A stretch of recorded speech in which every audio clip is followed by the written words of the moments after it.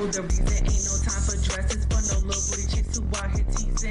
A rap video uploaded to YouTube on Monday showcases the Commonwealth's attorney for the city of Portsmouth along with her family. Stephanie Morales, her husband, son, and young daughters are seen dancing as lyrics like booty crack and booty bouncin' play in the background. The phrase booty poppin' is sung at least 30 times. I thought I was being pranked, to be honest with you. I just really couldn't believe what was happening. Barry Randall calls himself the people's pastor. He says he's disappointed in this video, calling it wrong on so many levels. We had four males shot in our city last Thursday. We had three males shot in our city last Monday. Her office has yet to do anything because she's booty popping. Randall mentions the involvement of Morales' children in the video as well, saying this was not the use of sound judgment. She has every right to pop her booty in the privacy of her home with her husband. But to do that with a bunch of teenagers that look to her, she used her office as a modeling for mentoring our young boys and girls,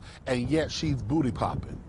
That's a problem. We did reach out to Morales, who did not want to give us an on camera interview, but did provide us this statement.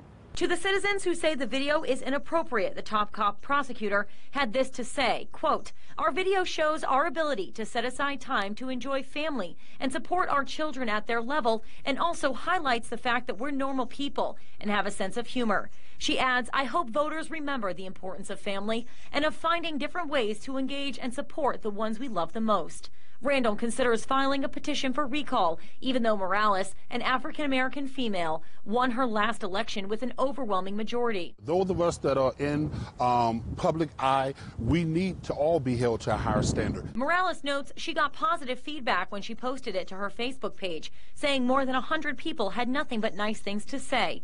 Though other places where the video was shared, a majority of the reviews are negative. In Portsmouth, I'm Rachel Cardin, News 3.